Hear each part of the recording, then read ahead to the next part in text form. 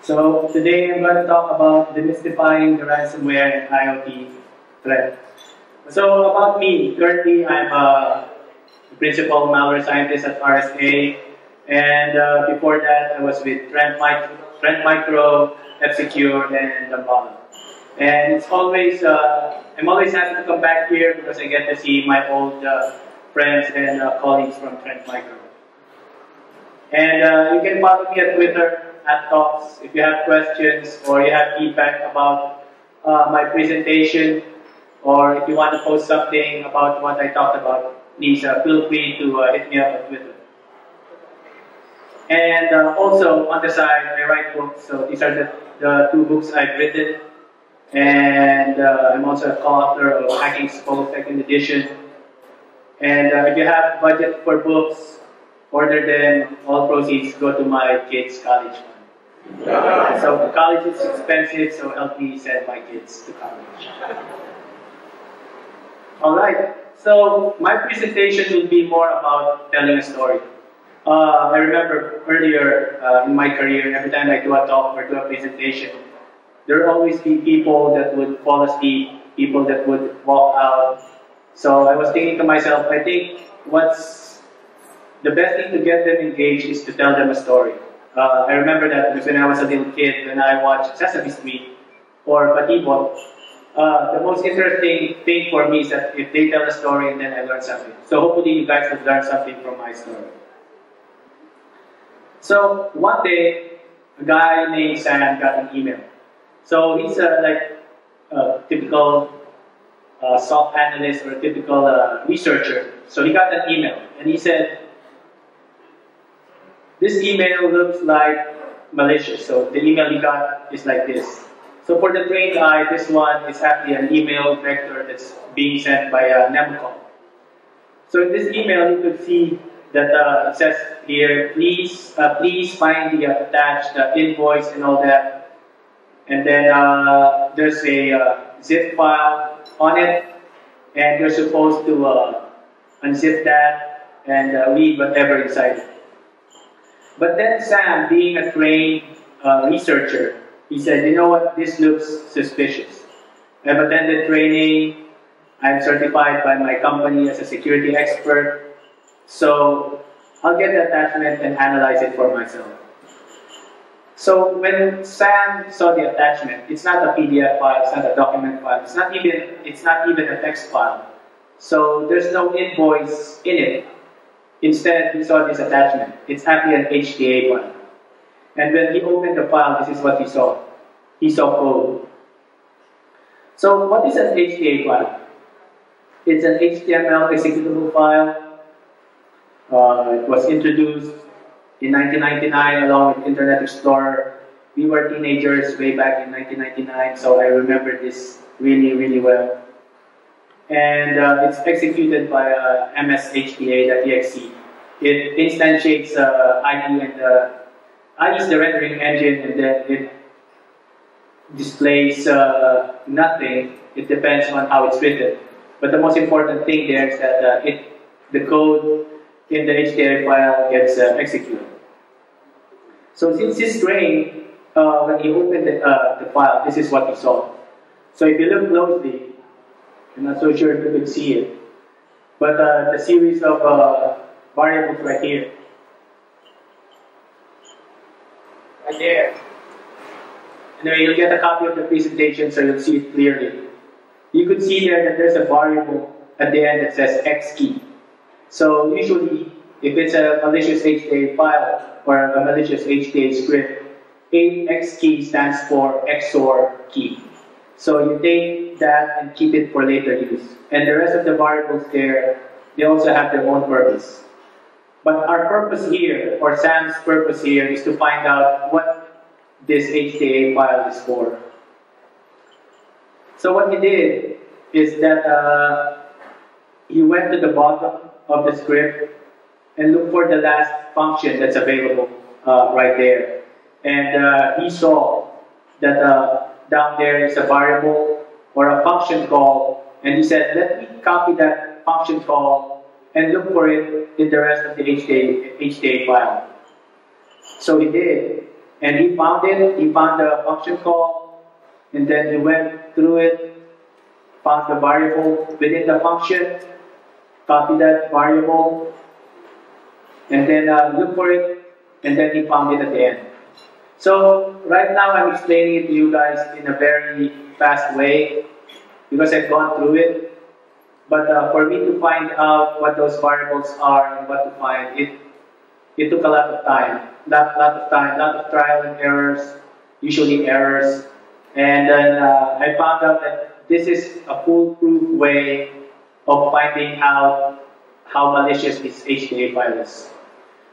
So what we're trying to figure out here, or what Sam is trying to figure out here, is what this HTA file is doing. Since he's undergone training, usually he knows that most HTA files that, uh, that are sent to you via email are considered downloaders. So they would usually point the user to a malicious domain where that domain contains malware, that malware would be automatically downloaded to the victim uh, PC. So once you find the main variable, the next thing you need to find out is that is that variable really the one I'm looking for? So what you do, you just add an alert on that variable. So uh, you type in alert after the main function where you found that variable, and then uh, close in parentheses the variable itself. And then once you do that, you could execute the HTA script on a uh, on a confined test machine, uh, not connected to any production network. And this is what you will see. So what you will see, the URLs will be revealed. And those URLs are the ones that are serving malware to the system. And usually, uh, malicious HTA files or infection vectors, they don't rely on single URLs. They would have multiple domains, multiple URLs. And for this one, I think we were able to get uh, a couple of variables. I mean, a couple of uh, URLs. So these are the URLs. So Sam, being trained and all, he was able to find out all of these things. So he was so happy. He was saying, you know what? This is so easy. I could just grab the malicious file from those URLs and then analyze it myself.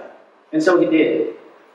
So he grabbed those uh, files from those uh, malicious domains and then executed it in, his uh, test machine.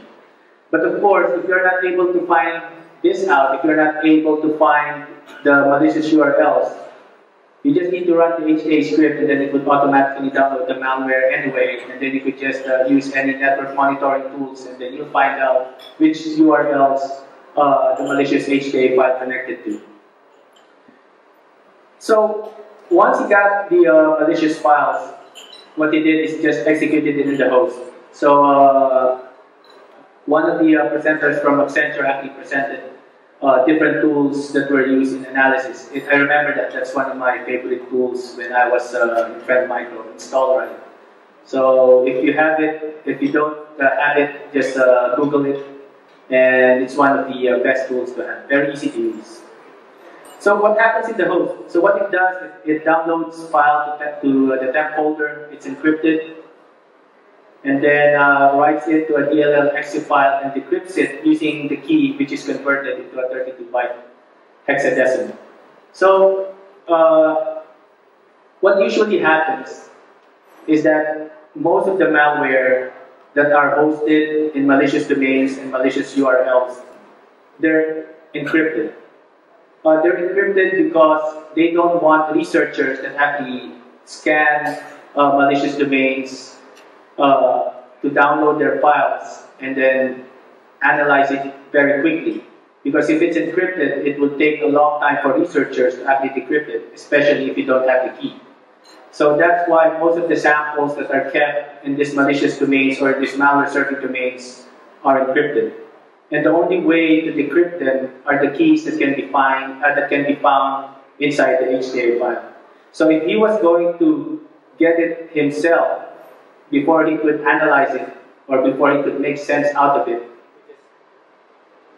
hello, he could just decrypt it using the uh, XOR key that he found from the HTA file. But let's say he didn't do that. So uh, you just run the HTA file, it will download the malware, it will decrypt itself, and everything would be fine. You'll be able to find out what that malware is doing. So here, the significance of the temp folder is that uh, the malware uses that to download the encrypted version, and it does some uh, copying, moving of those files until it gets decrypted, and then it gets it gets injected or written as a DLL or exe file. Uh, at the end of my presentation uh, in my Twitter account, I would uh, post there the blog I've written discuss, discussing how temp folder is being used by malware. So you have no choice but to follow me on Twitter. So he was so happy, he was able to figure it out. And he said, you know what, this is really easy.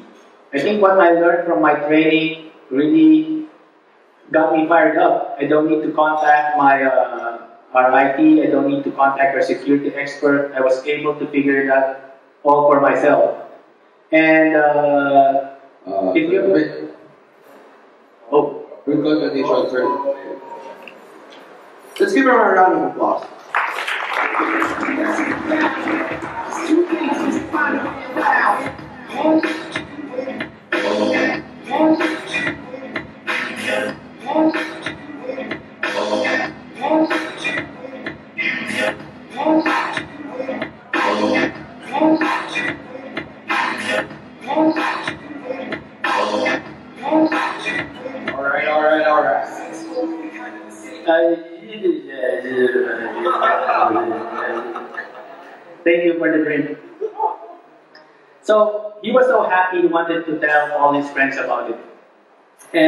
A millennial like me, nothing happens unless you post it in Facebook. So he has to post it in Facebook. So what he did, he logged on to his Facebook account and he said, I wanted to tell all my friends about this because this is cool. And so he did. But then when he logged in his uh, FB account, this is what he saw. He saw a message from one of his friends. And there's nothing in it, it's just a photo file, it's an SVG file. So he opened that SVG file, and what happened is that uh, it brought him to this fake YouTube site. And you'll know it's fake because if you look at the domain, you'll know it's not YouTube. And it's asking him to download a, uh, an extension. So, so what he did, uh, when he was sent to a fake YouTube page, it was asking him to download an extension. But that extension doesn't have any information whatsoever. So he knows that this page is malicious. So what he did, he uh, actually Oh, this is what, what's about the extension. There's really nothing much to it, so you know it's malicious. So what he did, he examined the SVG file closely. So what's an SVG file? It's a scalable vector graphics file, XML, XML based, so you can put, uh, you can also put code in it, and it was introduced uh, in 1999.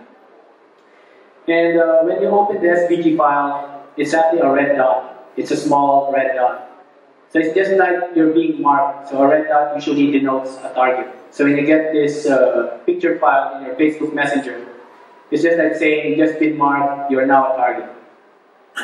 So what he did is that, uh, you know what, let's figure out whether the technique Sam used in the HTA file would work on the SVG file. And so it did. But this one is much more easier because you can just go to the end of the SVG file and then uh, do trial and error on the variables that you see there. If you could see at the bottom bar and then uh, the variables, and then alert on them.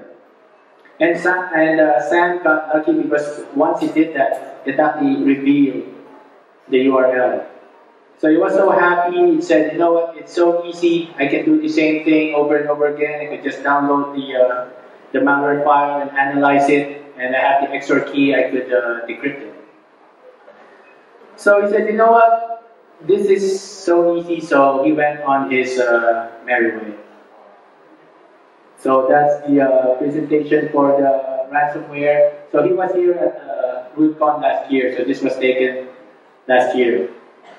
But then since we still have like more time, there's actually more to the story. So Sam got a snail mail from uh, grandma. So how many of you still uh, get mail from your uh, grandparents? So I still get mail from my grandparents because they don't want to use computers anyway. They have computers at home, but they only, they only have Facebook open all the time so that they'll get notification of what's going on with their uh, grandkids or their kids, your parents. So Sam was saying, you know what, I remember when I was a little kid, if my mom or dad won't buy me anything, I just go to my Lolo or Lola, and then uh, they would uh, buy me stuff. So if my grandma needs help, I'm to go to grandma and uh, give her the help she needs.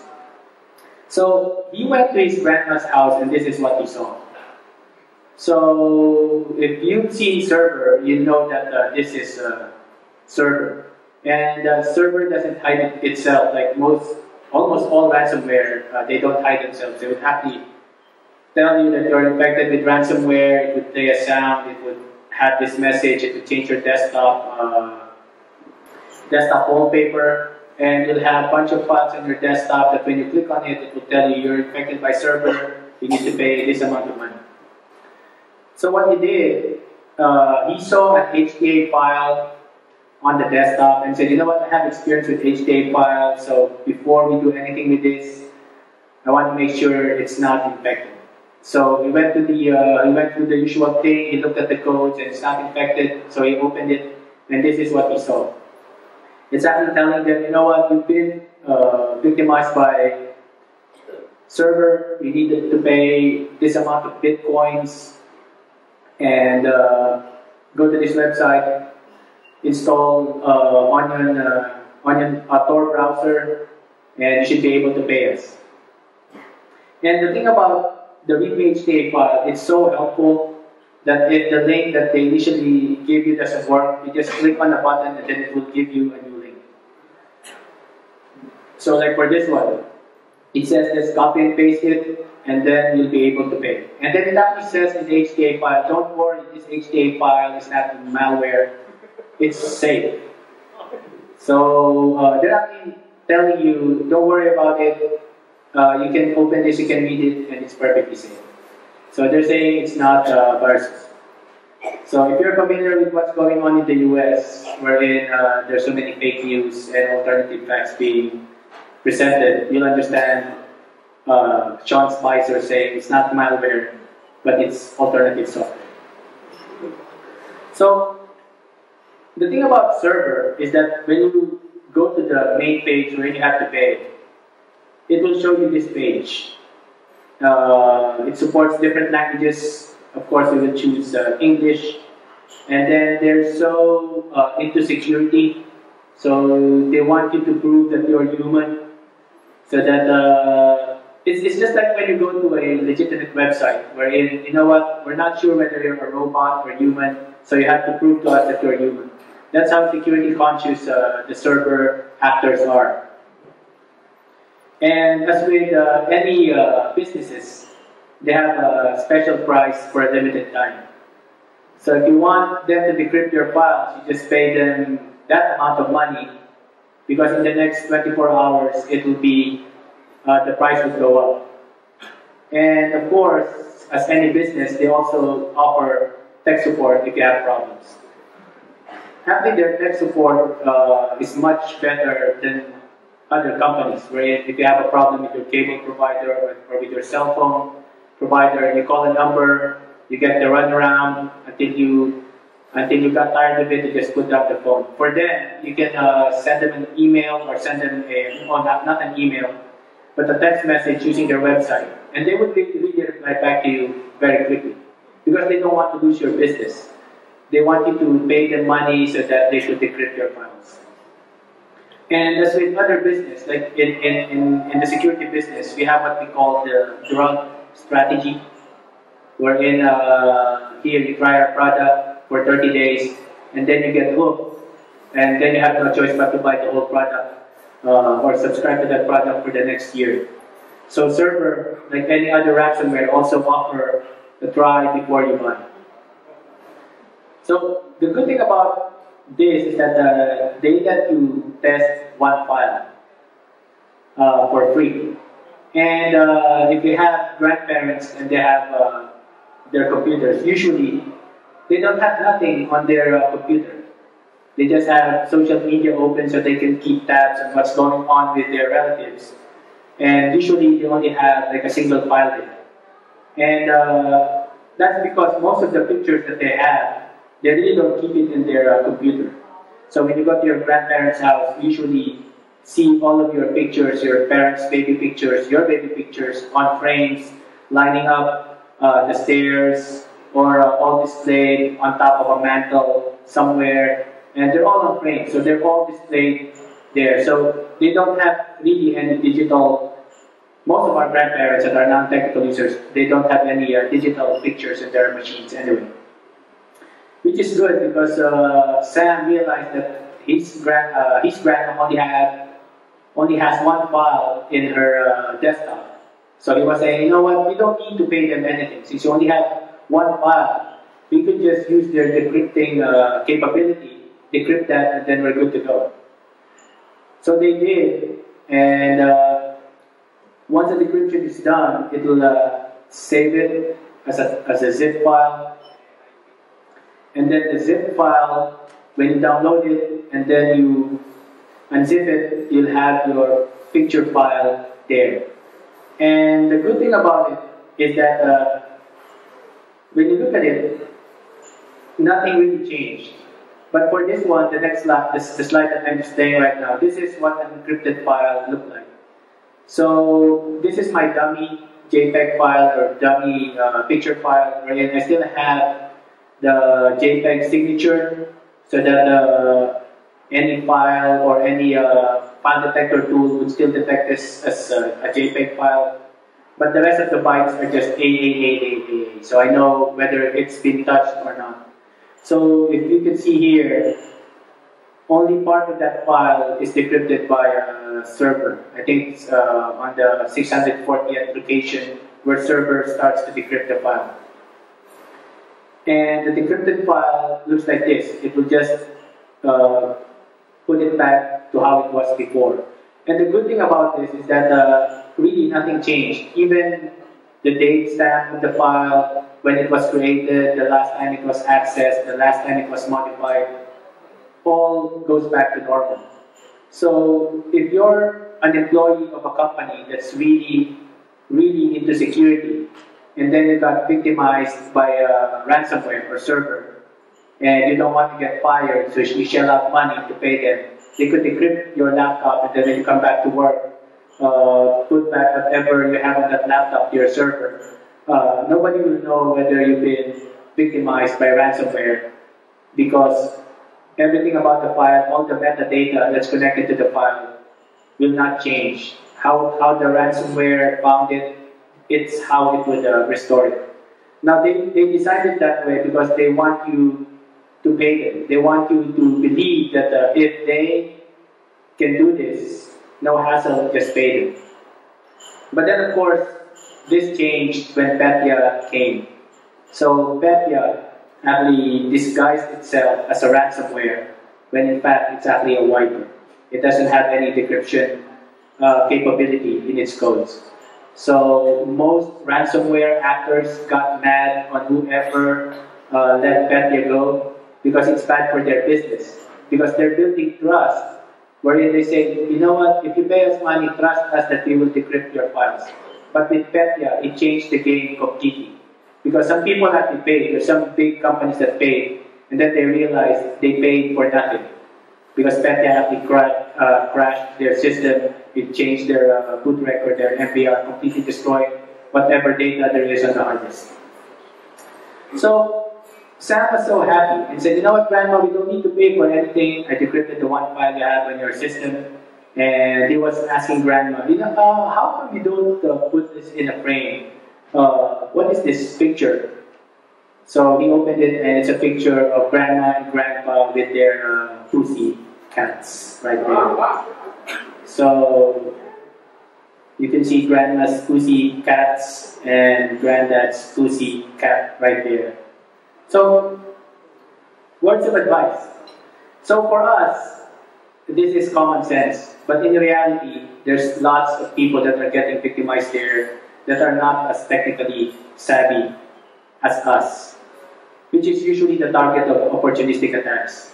How many of you have gotten a text message from your non-technical relative saying, you know what, I can pay for our vacation uh, next year to Europe or to whichever country you like because I just met a Nigerian prince. He promised me to give me this amount of money if I deposit this amount of money to his bank account.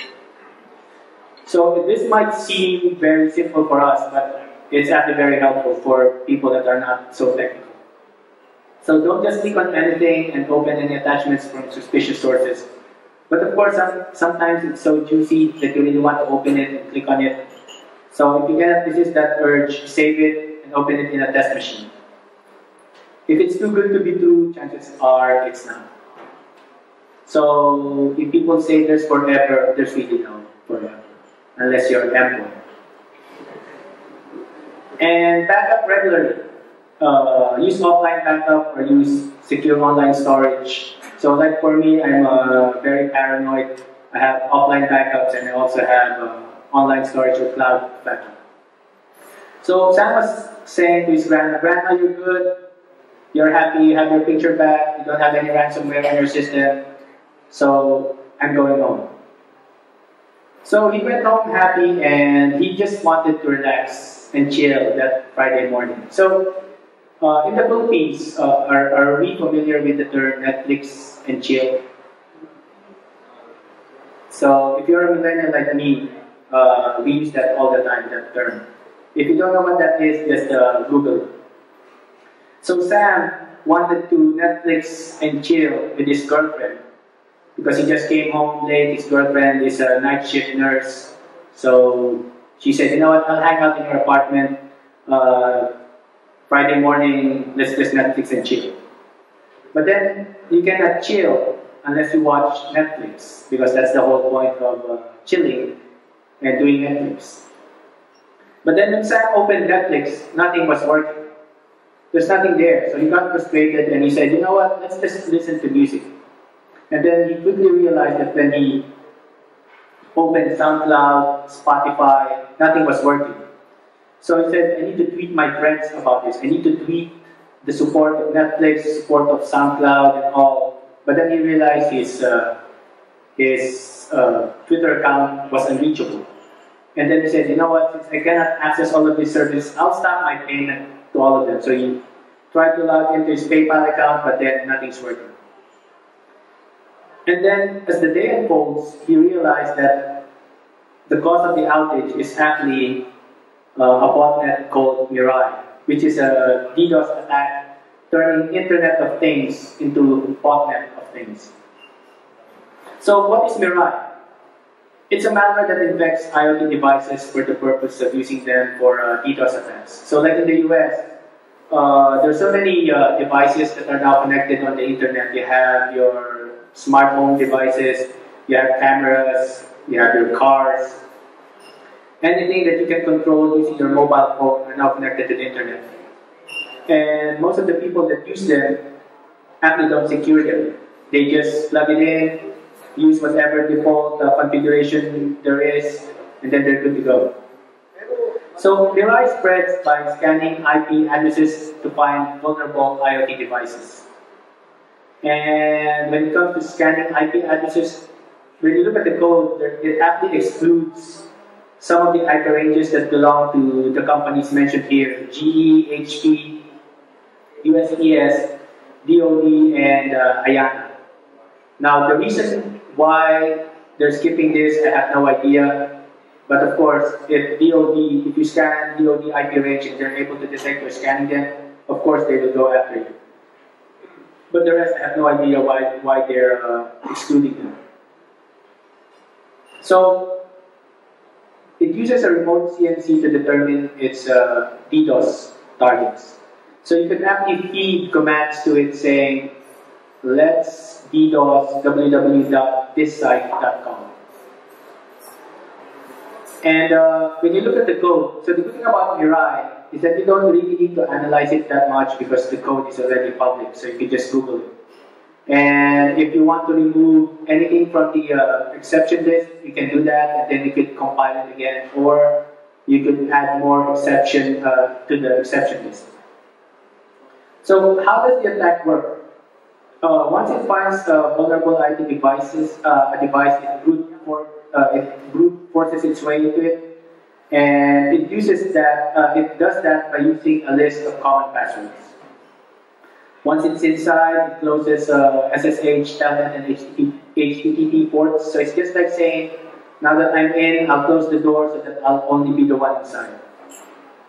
And if there's another IoT malware there, it will try to remove it. And for this one, it's trying to remove uh, anime uh, malware, which is good for us, uh, researchers, because you also don't need to reverse anime to find out how it works and to find out how to remove it. You just use the uh, IoT, uh, I mean the uh, Mirai, so the Mirai code for that. It's just like going back to the SpyEye and Zeus days, wherein if you get a hold of a SpyEye kit or a Zeus kit, and it has the capability to remove SpyEye or Zeus, you just need to analyze how it does that or reverse it how it does that, and then you'll be able to use that code to your solutions to remove spy Zeus. But of course, it's easy for me to say here, analyze this, analyze that, reverse this, reverse that. Of course, it doesn't take uh, just a few hours or days to do that. Sometimes it takes days, weeks, and months to analyze something. Uh, sorry, not analyze, but fully reverse something. So this is the common passwords list that Mirai has. So you can add to it, you can remove some to it. So you can make it much more smarter if you really want to go this route. So as I said before, the source code is already public. Uh, it was uh, one of the author, uh, one of the entity that claims to be an author of uh, Mirai is uh, Anna Senpai. So senpai is actually Japanese for upper classmen. So if you're taking uh, any karate classes, you'll know that uh, before you become a, sen- a sensei, someone who teaches, you become a senpai first, which is an upper upperclassman. And then if you're really, really good, you want to teach, then you become a sensei. So what happened uh, that day that causes the uh, DDoS IoT uh, fiasco? So Dyn uh, is an internet infrastructure company headquartered in New Hampshire. So somebody attacked it. And the first wave started at 7 a.m. Eastern Time. Second wave started around noon. And third wave started around 4 p.m. So during those times, most of the services like Netflix, PayPal were affected. You cannot log into them and traffic to Dyn's internet directory was flooded by requests from millions of IP addresses. So take for example, you have uh, 1 million uh, cameras or smart home cameras. Instead of them sending information to the right location, they're sending information to these uh, to Dyn, completely flooding their system and uh, rendering their system useless. So what Sam did is that, uh, you know what, I need to find out more about Mirai. And this is what he found out. So September 20, 2016, Krebs' website was DDoS. And then October 1st, Mirai's source code was leaked. 21st time was DDoS. So I'm guessing here it took people 20 days to actually get the source, the leaked source code, uh, modify it for themselves, compile it again, and then launch uh, the attack on Dyn. And then one month, one month after the attack, Oracle bought Dyn. So that's why there's a joke in, in the industry saying, you know what, if you want to be bought by, by a bigger company for big money, just get attacked or get yourself in the news. Anyway, uh, there's no such thing as bad publicity. Every publicity is still good. And then January 17, 2017, Krebs identified the alleged Mirai author and he wrote about it in his blog. So Actually, the thing about Mirai, you could protect yourself from it if you just secure your IoT devices. So you do that by changing the default username and password, disable unnecessary remote access to the IoT device. Usually you just need to access it via your mobile or your desktop and then any other access to it, if you don't need it, just turn it on. And uh, there's a US CERT advisory about it. So these are the preventive steps according to US CERT. So I won't read them. You can just read them once you have copies of the, uh, the slides. If you want to take pictures of them, I'll, uh, or not, then you'll have a copy of the slide. And then you realize, you know, you know what? I'm contributing to this attack. Sam was saying, I'm also responsible why I cannot Netflix and chill. Because most of the devices in my home have default configuration. So he said, you know what? I need to change my device's passwords before it's too late. And this is what happened. And then he realized this is going to be a very long day. The, hopefully you guys learned something in that story. And uh, feel free to ask questions now or later via uh, Twitter account. And if you want to uh, link with me, there's my LinkedIn address. And thank you again. Thank you again uh, for ROOTCON for. If there are no more questions.